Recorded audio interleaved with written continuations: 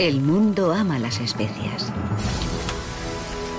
Ingredientes exóticos de muchos de nuestros platos preferidos han revolucionado nuestra manera de comer. Pero la búsqueda de estos sabores asombrosos que ahora encontramos en cualquier cocina cambió el curso de la historia. En este viaje descubriremos cómo las especias forjaron el mundo moderno, visitando algunos de sus exóticos lugares de origen hasta conocer cómo estas aromáticas y maravillosas sustancias llegaron a nuestra mesa. Voy a reunirme con personas que dependen de ellas para subsistir y a seguir la ruta de los primeros buscadores de especias. Imperios creados y destruidos, inmensas fortunas amasadas e incontables vidas perdidas en uno de los periodos más emocionantes de la historia de Occidente. Y todo en nombre de las especias. ¡Vamos! ¡Adelante! La ruta de las especias.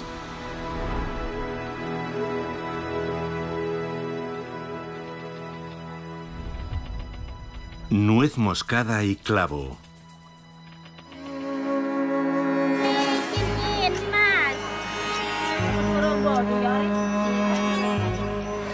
Hay dos especias que llevaron los límites de la exploración más lejos que nunca.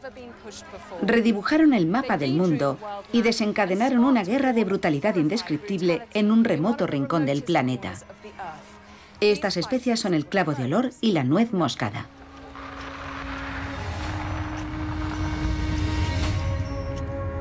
En la Europa del siglo XVI, estas especias eran muy apreciadas como alimentos exóticos y como medicamentos que supuestamente protegían de la peste. Pero además eran un símbolo de estatus social, una especie de tesoro medieval. Con un saquito de nuez moscada como este, se podía comprar una mansión en Londres.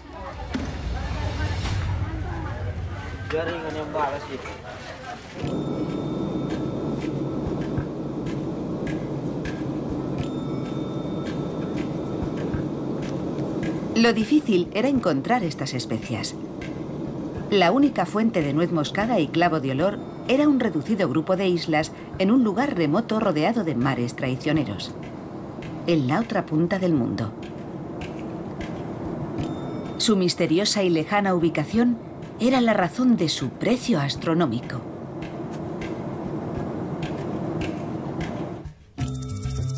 Me dirijo a Oriente para conocer su lugar de origen una simple mancha en ese gran archipiélago formado por 17.000 islas que hoy conocemos como Indonesia. Empezaré por la isla de Java. Su capital, Yakarta, fue un importante centro de operaciones para quienes buscaban la ruta a las Islas de las Especias.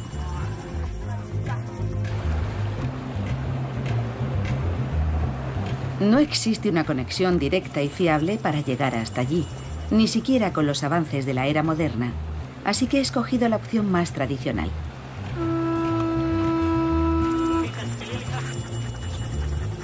Hola. Hola, ¿qué tal? Bienvenida.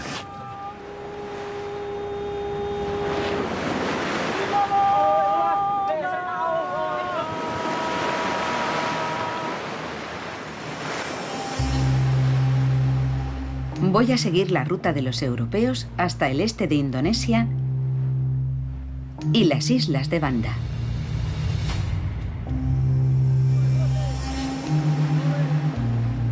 En el siglo XVII, dos naciones europeas entraron pisando fuerte en la contienda por las especias, Holanda e Inglaterra.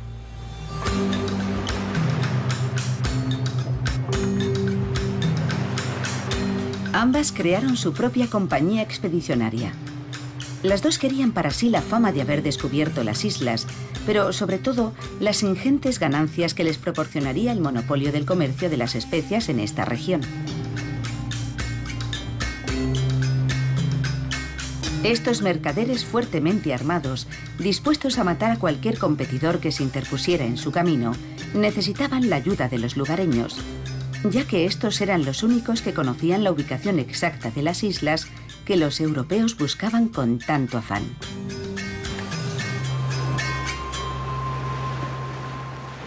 Por eso llevaban a bordo marineros locales, los cuales les exigían importantes sumas de dinero.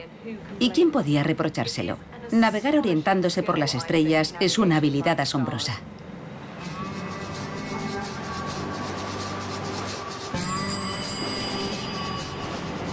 ¿Qué dirección tomo? Va bien así. ¿Así? Un poco a estribor. A estribor, de acuerdo. A estribor. Eso, a la derecha.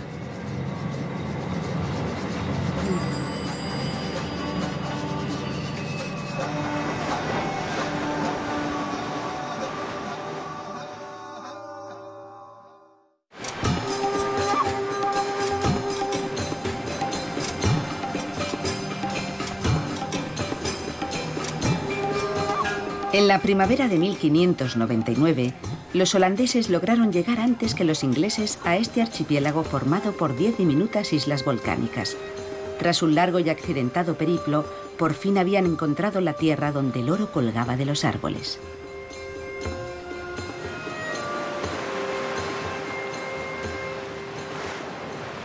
Fue la búsqueda de estas islas y lo que es más importante, de los árboles que crecían en ellas, lo que impulsó a aquella gente a emprender aquel viaje descabellado, arriesgando vidas y fortunas. Estas son las islas de Banda y aquel es el volcán Gununapi, que significa montaña de fuego.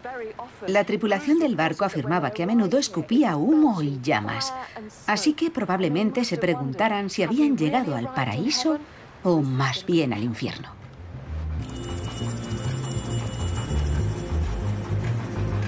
La erupción del volcán no era el único recibimiento que aguardaba a los holandeses.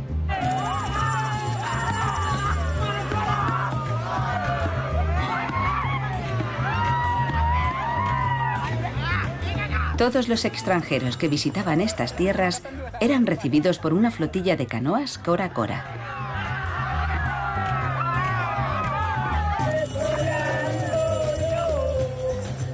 En la actualidad, Equipos de las distintas islas compiten en una carrera, en una impresionante demostración de fuerza y resistencia. La amistosa exhibición con que soy recibida me resulta un tanto intimidante. Así que me imagino que impresionaría mucho más a aquellos primeros europeos que nunca habían visto nada parecido.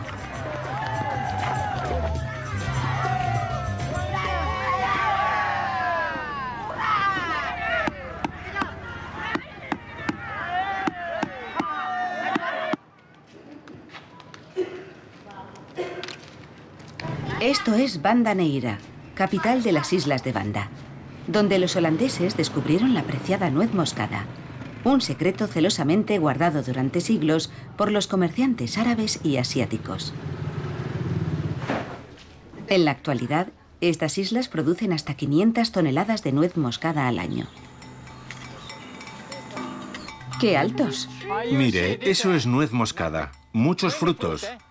Y esto, estas flores, también son nuez moscada. Y todo está lleno de frutos. Hay nueces por todas partes. Sí, la nuez moscada.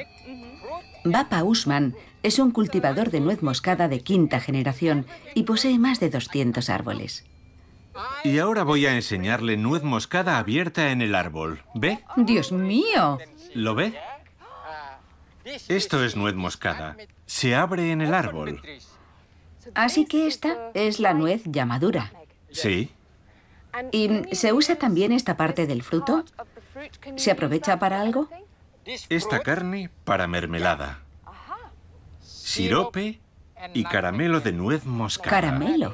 De nuez moscada. Y mire esto. Lo rojo del interior. Sí, ¿ve esto rojo? ¿Sí? Esto rojo, macis. Así que eso es el macis, la cáscara que envuelve la nuez moscada. También para cosmética. Para cosmética. Sí. ¿El macis? El macis, sí. Y dentro de macis, nuez moscada. La nuez. Y la nuez moscada sirve para cocinar, para medicina y no sé para qué más. Para todo. Holanda, Inglaterra. Cientos de años atrás vienen a banda. ¿Por qué? Por nuez moscada. Y ganaron una fortuna. Gran dinero. Gran dinero, sí. Y usted tiene 200 árboles. Pero no dinero.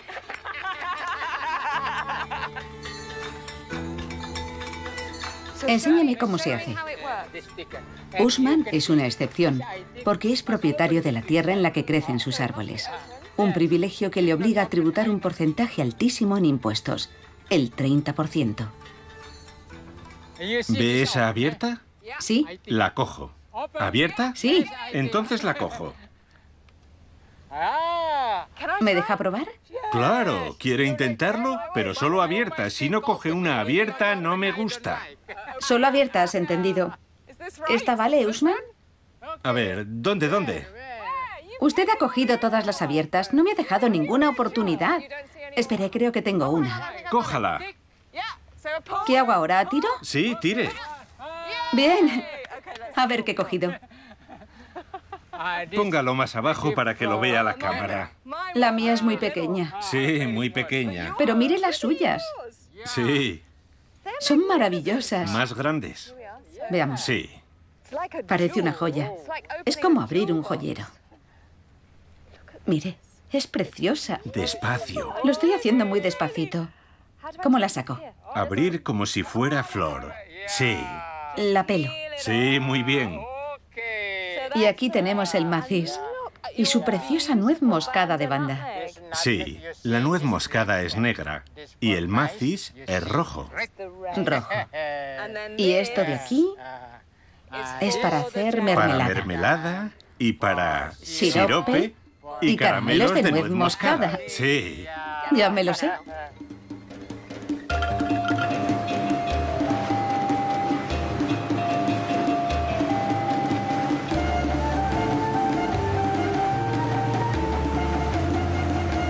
La delicada planta de la nuez moscada requiere unas condiciones muy concretas para crecer y en estas islas tiene todo lo que necesita. Le gusta el calor, la humedad, un terreno fértil y bien drenado y una tasa de precipitación anual de más de 1.500 litros por metro cuadrado. Con un sustrato volcánico rico en nutrientes, mucho sol y frecuentes aguaceros, las islas de Banda siguen produciendo, según los entendidos, la nuez moscada de mayor calidad del mundo.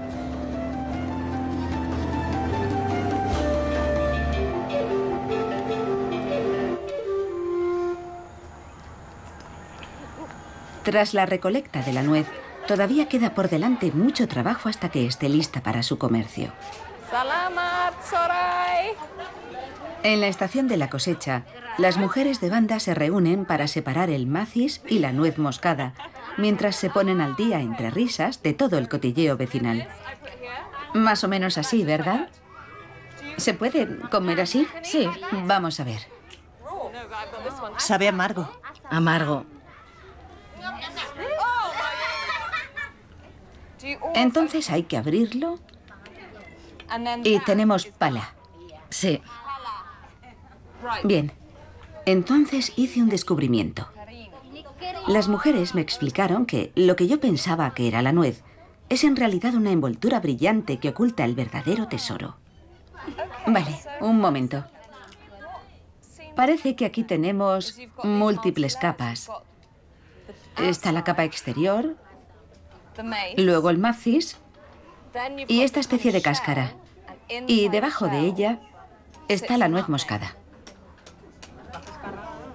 Es asombroso, ¿verdad? Que por esta cosita arrugada se pagaran sumas de dinero tan astronómicas y se aventuraran en el mar todos aquellos hombres intrépidos del mundo entero. Es muy interesante, porque parece ser que después de que los holandeses llegaran aquí y lo transformaran todo en plantaciones de nuez moscada, finalmente se ha vuelto a la tradición. Y todas las mujeres que ven aquí tienen árboles de pala en las montañas.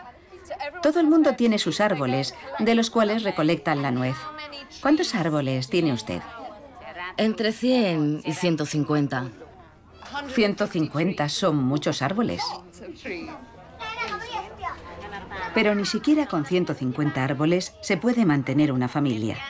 Por eso la mayoría tiene otro trabajo. Y por eso aquí tenemos que trabajar sin parar.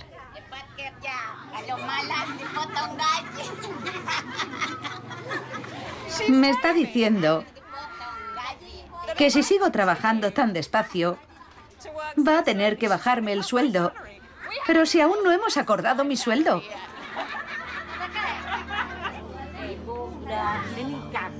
Mímica. Casada. ¿Que si estoy casada? Sí. Pobrecito. ¿Que si tengo hijos? No, yo no. ¿Tú cuatro? ¿Que tú tienes cinco hijos? ¿Y cuándo duermes?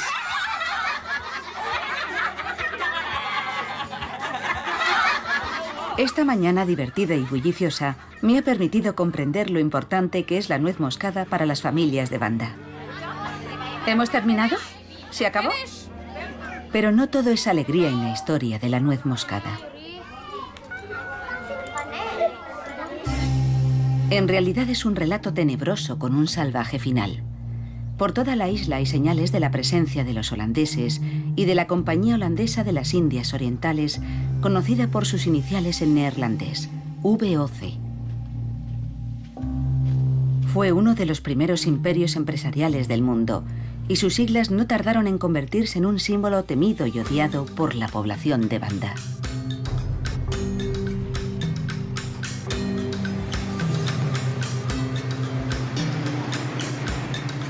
Cuando paseas por aquí, llegas a admirar la hermosa arquitectura colonial holandesa. Pero su legado es un legado de espanto.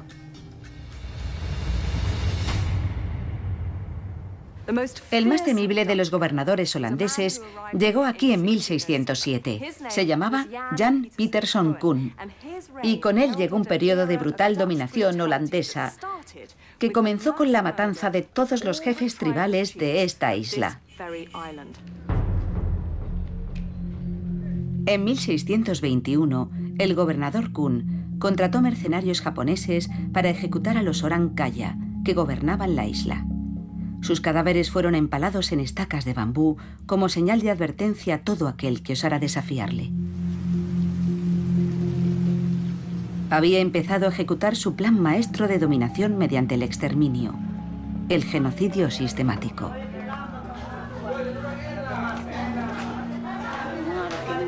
La población, de unos 15.000 habitantes, quedó reducida tras las terribles matanzas a poco más de mil. El gobernador Kun repobló entonces la isla con trabajadores esclavos de Java. Todo ello en nombre de la nuez moscada. La población de Banda aún recuerda este trágico episodio.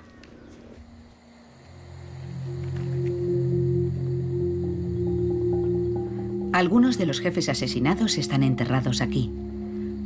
Dos autoridades de banda, Hamdi y Paktula, hacen una visita excepcional al lugar sagrado. Los habitantes del pueblo deben preparar sus rituales para honrar a los jefes muertos. Pero para ello necesitan el permiso de sus ancestros. ¿Puede decirme por qué los habitantes de Banda siguen recordando hoy con tanta intensidad aquella masacre? Forma parte de nuestra memoria. Desde hace mucho, mucho tiempo. Todavía recordamos a Jan Peterson Kuhn.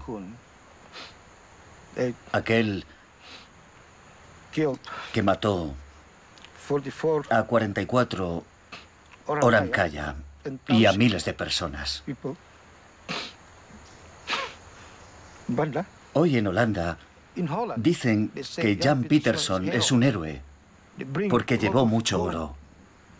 Pero para los bandaneses fue un malvado. Un terrorista. Sí, así es.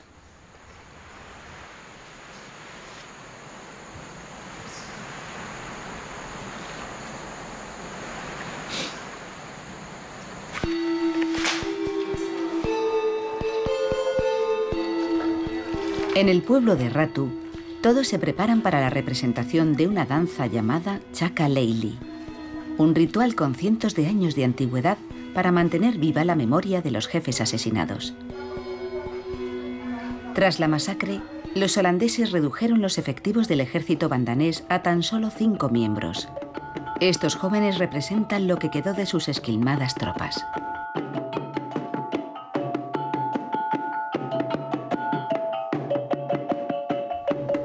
Cada uno de los elementos que componen este abigarrado disfraz está relacionado con el comercio de la nuez moscada.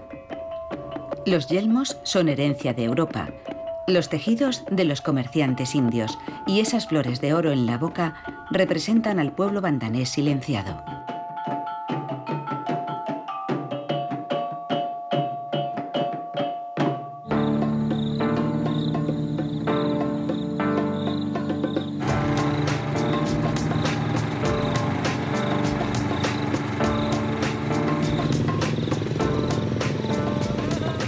Los isleños han recuperado su voz, además de cierto control sobre su producción de nuez moscada.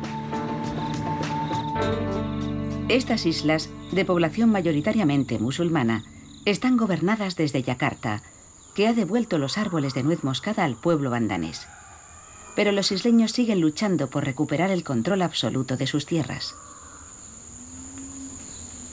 Este bosque de nuez moscada es uno de los más antiguos.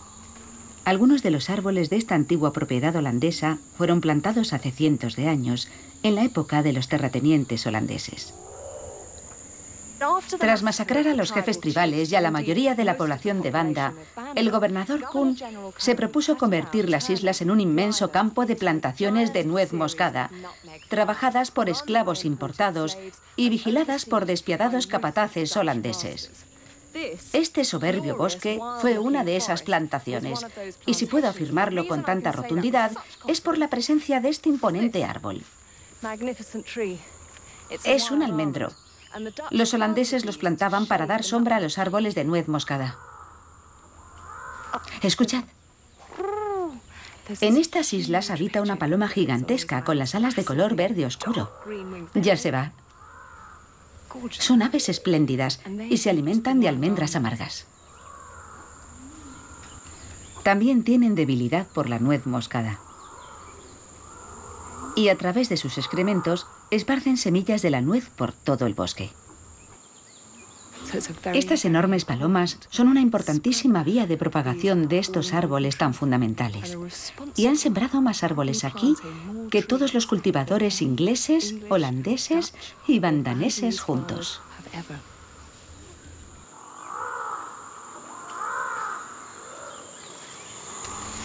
Hace más de 200 años, los comerciantes europeos sustrajeron de estas islas valiosas plantas de semillero de nuez moscada que empezaron a cultivar en zonas tropicales como el Caribe y la India.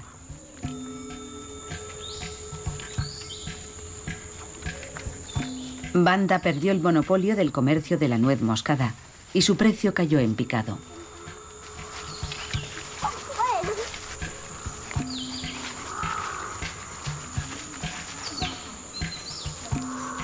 Hoy, Banda produce lo suficiente para que su población se mantenga, y hasta los niños colaboran buscando los frutos caídos del árbol.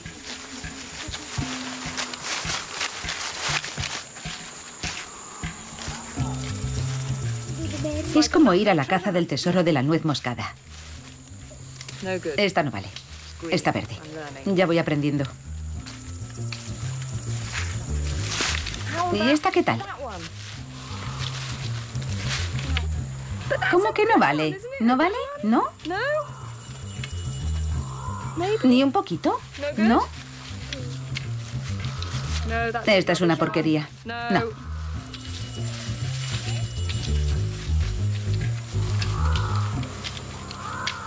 Mirad lo que he encontrado. Mirad. Es mía, es mía. Mirad. Bueno, no me digáis que no me merezco una felicitación. Miradla, ¿esta vale? Tú acabas de superarme con una almendra. ¿Se puede comer? ¿Sí? ¿La pruebo? Aunque pensándolo bien, podría haber salido directamente del trasero de una paloma. Justo cuando doy con la nuez moscada perfecta, me gana en la mano con la almendra perfecta.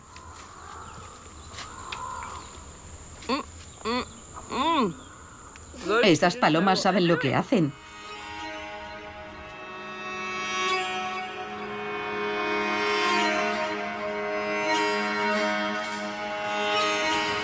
Las principales islas de Banda fueron ocupadas por los holandeses. pero había un territorio de nuez moscada del que aún no se habían apoderado. Una diminuta isla tomada por sus encarnizados competidores, los ingleses. Estos habían cruzado medio mundo con la misma intención que los holandeses, hacer fortuna con la nuez moscada. La Compañía Inglesa de las Indias Orientales, rival de la VOC, se convertiría en el motor del Imperio Británico.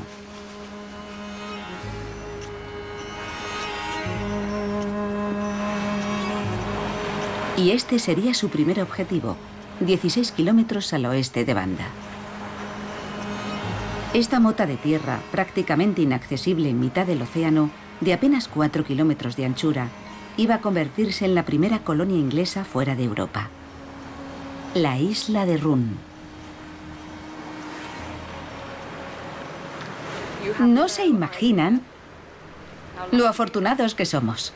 El oleaje de esta extensión de mar puede ser absolutamente brutal.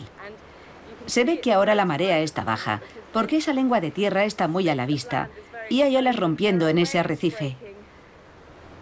Toda la isla está rodeada de arrecifes, lo que significó la perdición de muchos barcos ingleses. El hombre designado por la compañía para conquistar este territorio no era el típico héroe. El capitán Nathaniel Courthope era un intrépido aventurero, pero también era un ladrón. Tras robar 600 libras a la compañía, delito por el cual había sido castigado, se propuso redimirse en la isla de Run.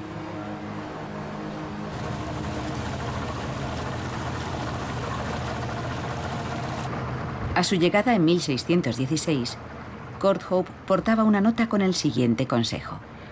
Cuando llegue a Run, muéstrese cortés y afable, ya que es gente desagradable, aviesa, desconfiada y pérfida, propensa a indignarse a la menor ocasión. Y si se la incomoda, más fastidiosa que las avispas. Estoy deseando ver ese recibimiento. Aquí está muy poco profundo. Hay que tener mucho cuidado con los arrecifes. Va a intentar bordearlos por ahí para luego llegar a la playa. Aquí todo parece arena, así que deberíamos llegar sin problemas.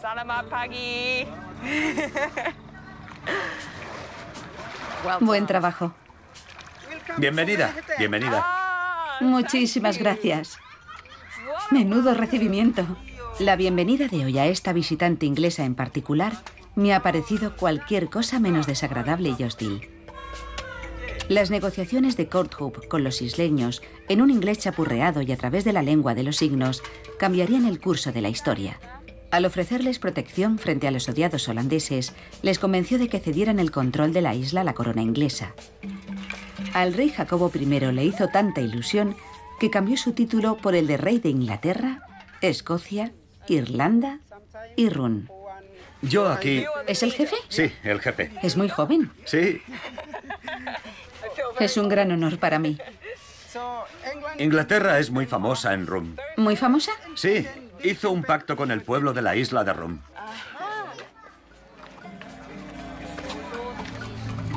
El pacto concedía a Inglaterra un acuerdo exclusivo de exportación con Rum. Courthope creó numerosas plantaciones y llenó con nuez moscada flotas enteras que iban directamente a Inglaterra. Todo esto sucedía en las narices de los holandeses, que, indignados, emprendieron contra Courthope una campaña de sangrientas batallas que duró cuatro años.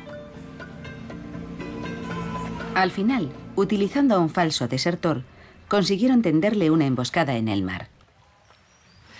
Él luchó por su vida, pero le superaban en armas y en número, y finalmente fue alcanzado por los disparos. Cuentan que entonces se arrojó por la borda y desapareció para siempre. Los holandeses, por fin, habían conseguido sacarse la espina inglesa.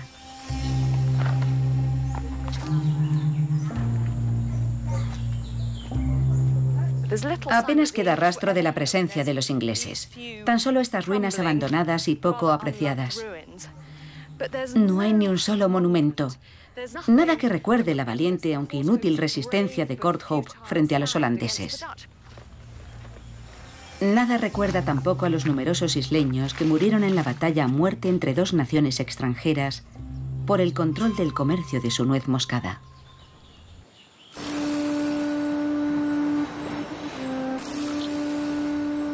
Una vez eliminado Courthope, los holandeses tenían el control absoluto del comercio de la preciada especia.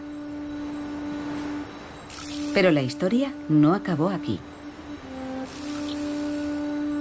Para contarles el siguiente capítulo, debo recorrer unos 160 kilómetros a través del mar de Banda para llegar hasta la sede del poder holandés en el siglo XVII, la isla de Ambon. A pesar de tener el control absoluto de la región, los holandeses estaban obsesionados con la idea de que alguien en alguna parte conspiraba para desbancarlos.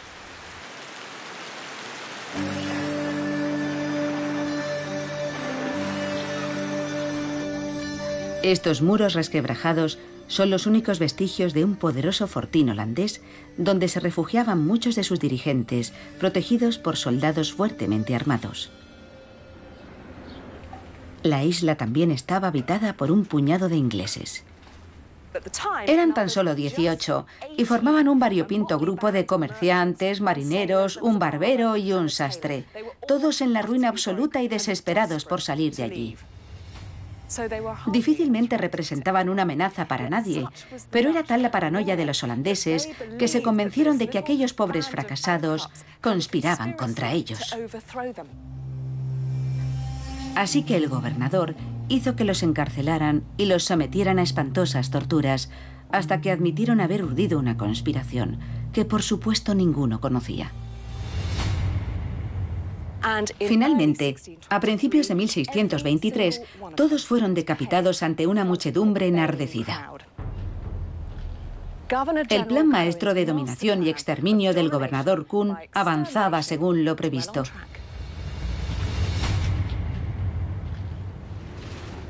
Como último agravio, los holandeses enviaron a los ingleses una factura por la reposición del terciopelo manchado de sangre del patíbulo.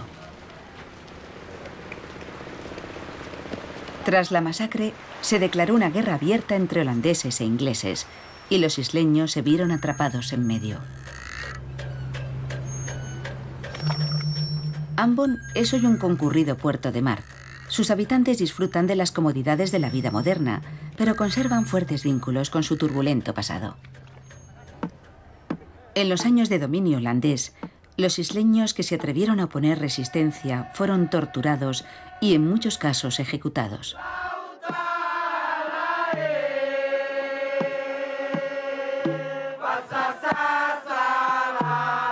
La salvajada cometida aquí es todavía una herida abierta que la población de Ambon conserva en su memoria. Estaba paseando por aquí cuando escuché este alboroto y he tenido que acercarme a curiosear. Se trata de un ritual ancestral de flagelación con escobas. Dos equipos de hombres armados con tiras de hojas de palma compiten entre sí.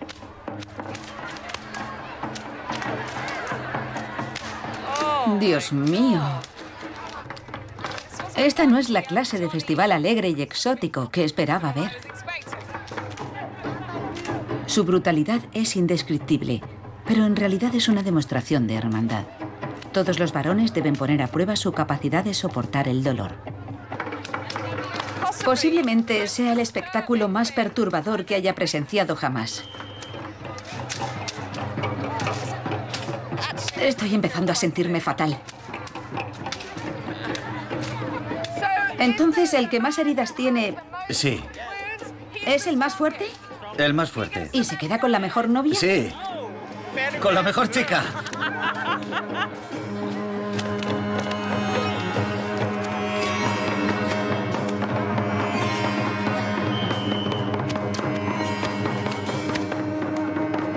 Los holandeses controlaron el comercio de la nuez moscada en estas islas hasta mediados del siglo XVII, pero no habían contado con la resistencia de la población local, que tuvo la serenidad necesaria para esperar pacientemente una ocasión propicia de recuperar el control.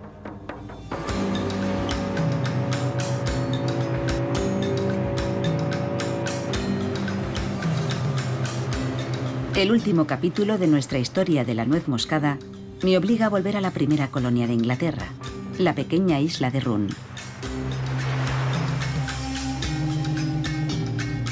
Por increíble que parezca, aquí estaba a punto de producirse un importante cambio del poder mundial. En 1620, tras la muerte del capitán Courthope, Inglaterra había tenido que entregar a Holanda esta isla rica en nuez moscada. Tuvieron que pasar casi 50 años para que el rey Carlos II de Inglaterra se tomara la revancha. El rey mandó una flota a través del Atlántico e invadió una isla hasta entonces dominada por los holandeses, Nueva Ámsterdam. Dos años después, ambos bandos se reunieron para intentar firmar un acuerdo de paz. Pero parecía imposible. Los ingleses exigían la restitución de Run y los holandeses se negaban en banda. Cuando parecían haber llegado a una vía muerta, alguien dijo, ¿por qué nos quedáis con las islas que ya tenéis? Los ingleses a regañadientes contestaron, vale, nos quedamos con Nueva Ámsterdam y vosotros podéis quedaros con Run. Y así lo hicieron. Los ingleses olvidaron las Islas de las Especias y rebautizaron Nueva Ámsterdam como Nueva York.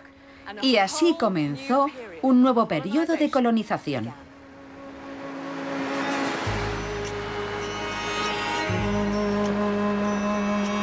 Aunque los ingleses pasaran a estar más interesados en otra parte del planeta, las Islas de las Especias seguían siendo un objetivo muy deseable para otras potencias europeas. Los primeros exploradores no hicieron todo el camino hasta aquí para conseguir una sola especia. También buscaban otra muy de moda en aquella época, una compañera de la nuez moscada igualmente exótica. El clavo de olor.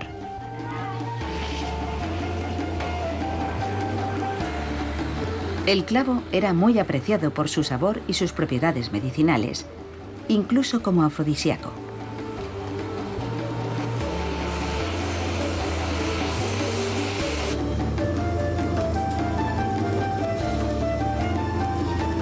Para saber más de esta especia, recorro 500 kilómetros hacia el norte, cruzando el Ecuador, hasta la verdadera cuna del clavo, la isla de Ternate.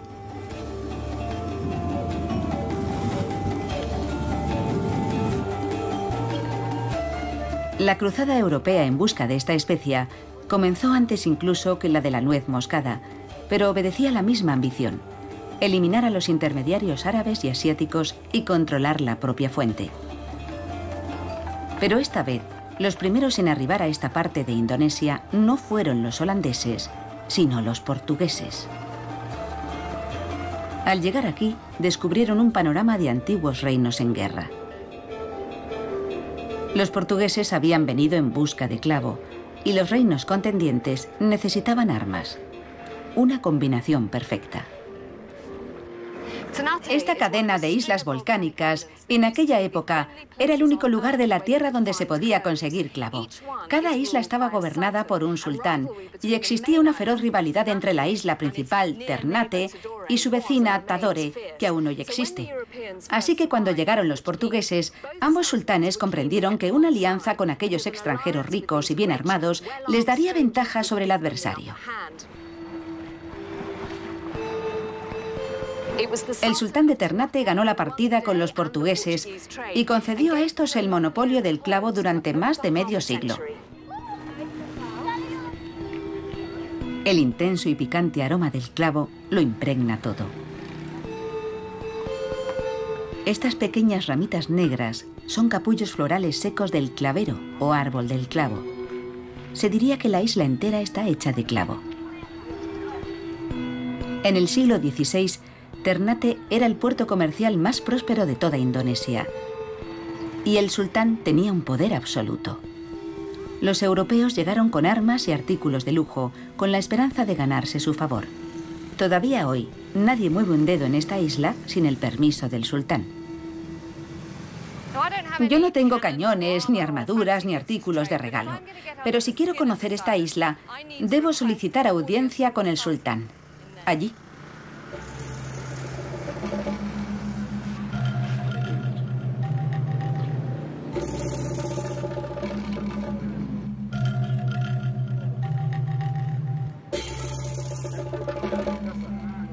El protocolo exigía que los comerciantes europeos se presentaran ante el sultán antes de embarcarse en cualquier negociación.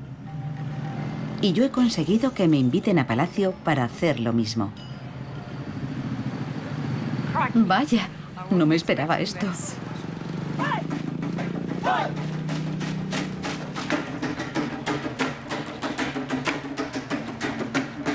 No me extrañaría que aquellos comerciantes portugueses, holandeses o ingleses se sintieran bastante abrumados con todo esto.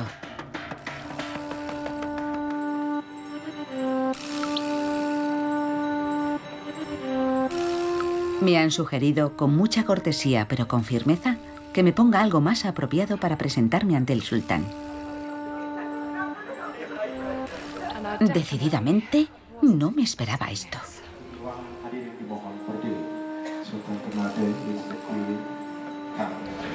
Es difícil moverse con un cuello así.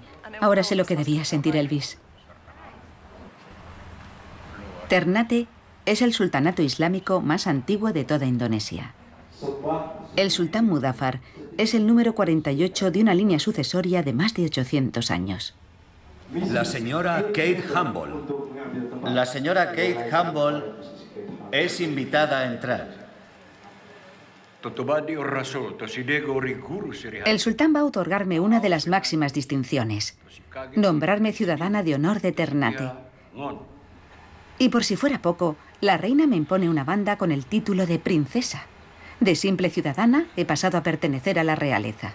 Os felicitamos como nueva princesa de Ternate. Gracias, gracias. Enhorabuena. Gracias. Señora Kate Humble, nueva princesa del sultanato de Ternate. ¿Acepta? Acepto. ¿Acepta? Acepto. ¿Acepta? Acepto. Ha aceptado seguir la tradición y así debe hacerlo. En caso de incumplir sus responsabilidades, será devorada por la serpiente. Mi nuevo título conlleva ciertas obligaciones. Ahora soy emisaria del clavo de olor de Ternate ante el mundo. Así que ahora soy una especie de embajadora en mi país. Eso es, como una embajadora. De acuerdo. Entonces, debo cerciorarme de no hacer nada que pueda dañar su reputación. Exacto.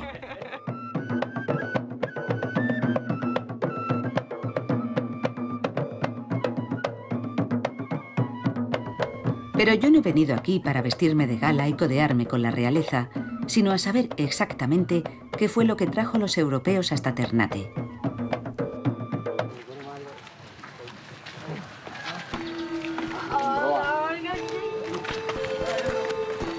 El sultán me ha presentado a uno de sus cortesanos, Banara Yusman, cuya familia lleva viviendo y cultivando el clavo desde hace generaciones a los pies del monte Gamalama. Caminar por este bosque es como recorrer la sección de productos exóticos del supermercado. Bala. Ahí podemos ver nuez moscada, papaya, clavo, plátano, cacao.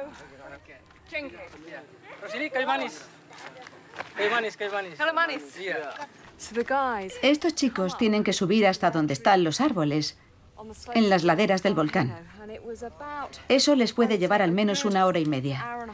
Es una cuesta realmente empinada.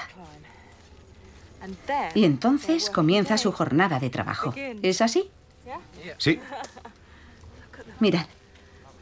Son tan bonitas. Parecen, no sé, como candelabros. La perfumada sombra de estos majestuosos árboles es el lugar perfecto para huir del intenso calor del día.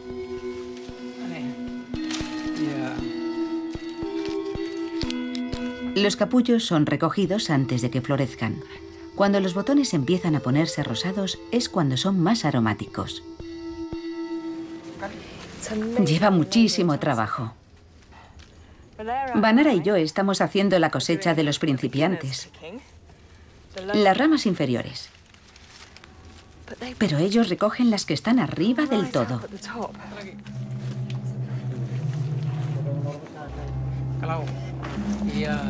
Este método tradicional de recolección no ha cambiado desde los tiempos de los portugueses. Consiste en crear un complejo entramado con cuerdas y tirar para apartar las ramas superiores y llegar a los capullos de las más altas.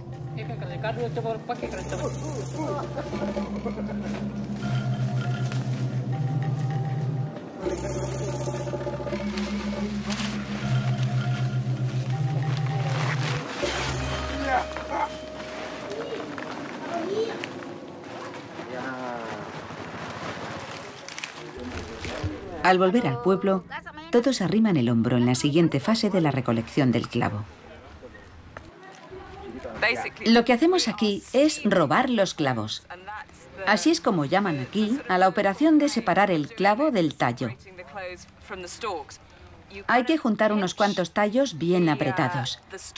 Luego se ponen en la mano y se tronchan. De esta manera se separan. Luego echamos los clavos en un montón y los tallos en otro. En mi casa tenemos un nogal, que este año ha dado una cosecha de nueces fantástica. Así que antes de venir a Indonesia, recogimos una buena parte y estuvimos haciendo conservas. Y uno de los ingredientes que se utilizan para conservar las nueces es el clavo. Pues bien, no tenía ni idea de la cantidad de trabajo que conlleva la obtención de un solo clavo. Es curioso. Son tan comunes para nosotros.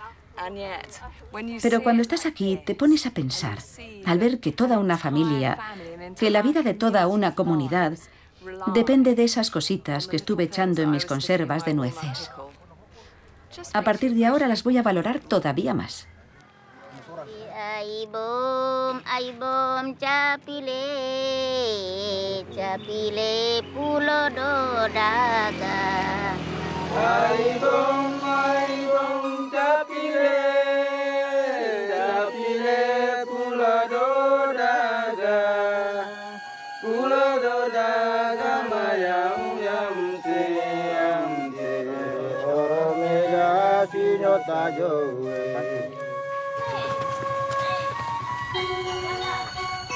Vaya a donde vaya, me encuentro con clavos tapizando las calles, puestos a secar al sol.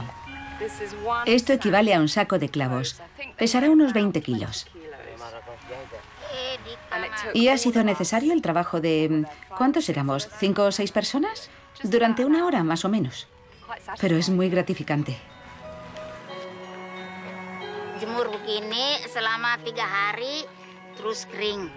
¿Tres días? ¿Al sol? Así que tiene que estar aquí tres días. Los tallos de clavo están tan solicitados como los botones, principalmente para su uso en una de las mayores industrias de Indonesia.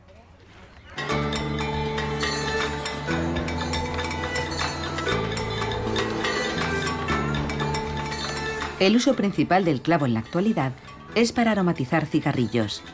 Los tallos de clavo machacados se mezclan con el tabaco para fabricar el popularísimo cigarrillo Kretek.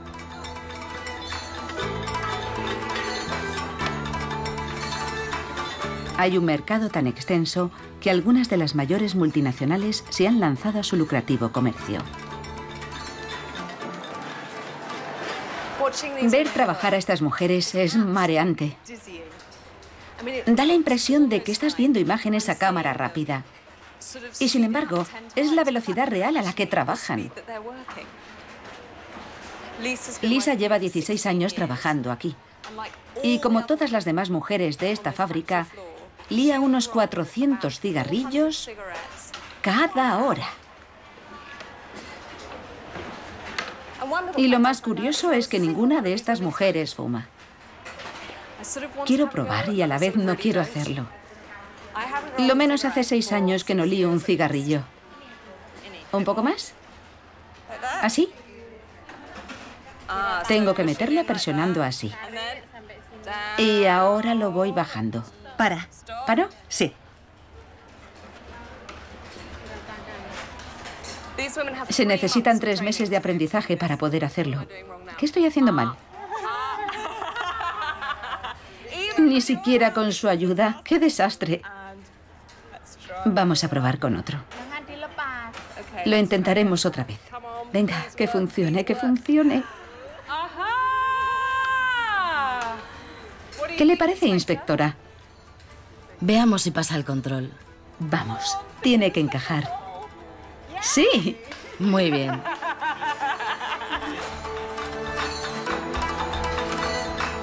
Aunque la mayor parte de la cosecha de clavo es destinada a la fabricación de tabaco, Indonesia sigue siendo uno de los principales exportadores mundiales de esta especia.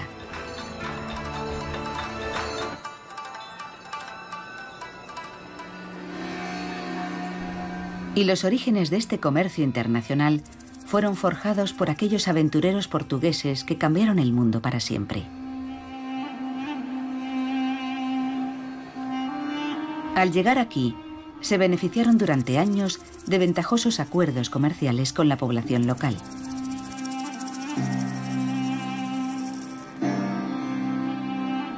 Pero luego se envilecieron y reclamaron el control absoluto. En este fuerte portugués se inició una sucesión de episodios horripilantes y atroces que comenzaron con el secuestro del sultán por parte de los portugueses. Y en 1570 mataron al sultán. Los isleños se alzaron en armas y vinieron corriendo hasta el fuerte. Pero no podían asaltar las murallas, ya que los portugueses tenían armas de fuego y ellos no. Así que los habitantes de Ternate decidieron bloquear todas las salidas de la fortaleza y pusieron asedio a los portugueses durante cinco largos años. Finalmente, el hambre les obligó a rendirse.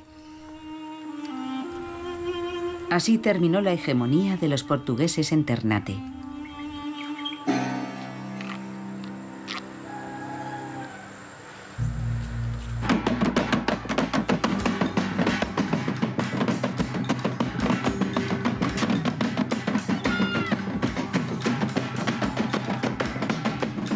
En un pueblo cercano al palacio, los niños aprenden una danza de guerra. El director musical del sultán, Atta Hassan Ali, les está enseñando a bailar la danza Soya Soya. La danza Soya Soya conmemora el momento en que recibimos el cadáver del sultán después de que lo mataran los portugueses.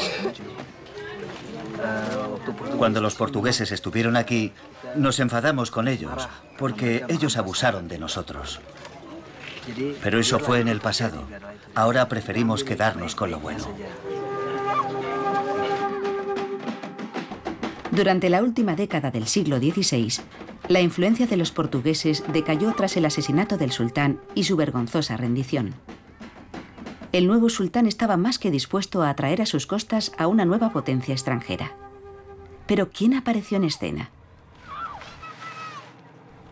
Fueron los holandeses quienes arrebataron a los portugueses el comercio del clavo.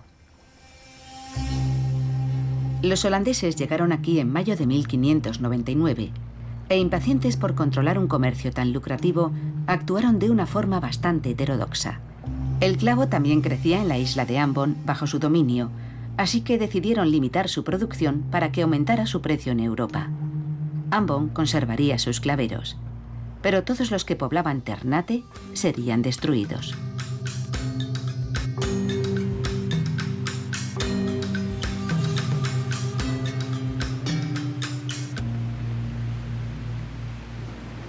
Evidentemente, el sultán no iba a dejarles talar los árboles sin más, así que idearon una argucia. Contaron a la población que a los europeos ya no les interesaba el clavo suelto, sino las ramas completas. Después querían la corteza y luego las raíces, y así uno a uno empezaron a extinguirse todos los árboles de clavo de Ternate salvo este, que entonces era un joven arbolito y aún vive en el palacio del sultán. Todavía funciona como un mensaje a los colonizadores. Los holandeses ya no están aquí, pero el clavo desde luego que sí. Los habitantes de Ternate creen que cada árbol del clavo que hay en la isla desciende de este mismo árbol. Al estar aquí en el mes de la cosecha, he visto cómo el clavo impregna cada aspecto de la vida cotidiana.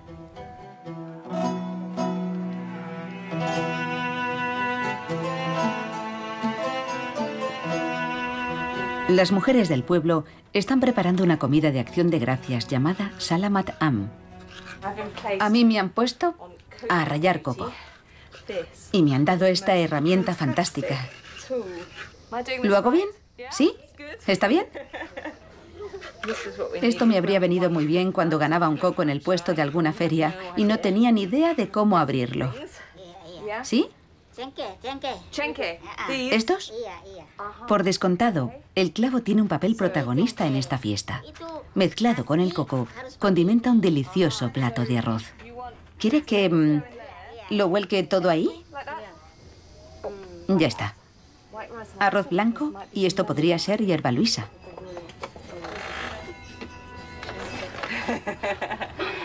Hoy nadie va a quedarse con hambre.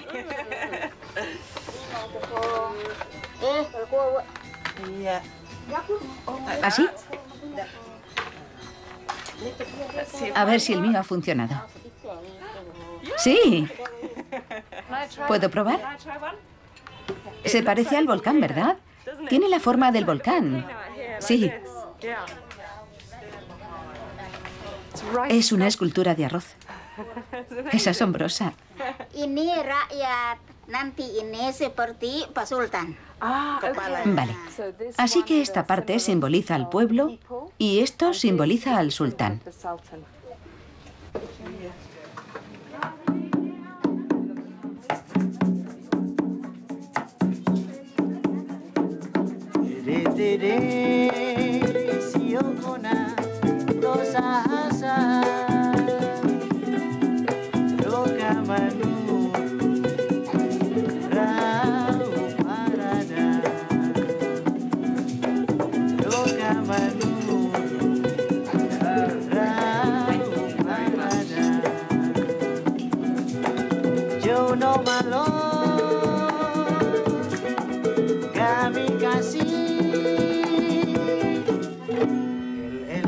Mi estancia en Indonesia toca a su fin.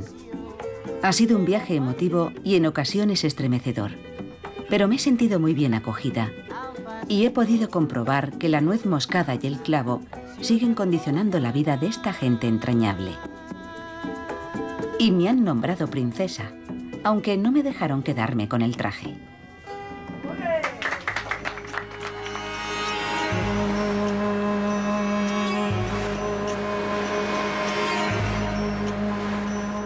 Cuesta creer que estas diminutas islas, que apenas se distinguen en el mapa, y sus especias, que hoy encontramos en cualquier supermercado, hayan influido tanto en la historia del mundo y en el comercio internacional, y sigan siendo casi tan inaccesibles y exóticas como hace medio milenio.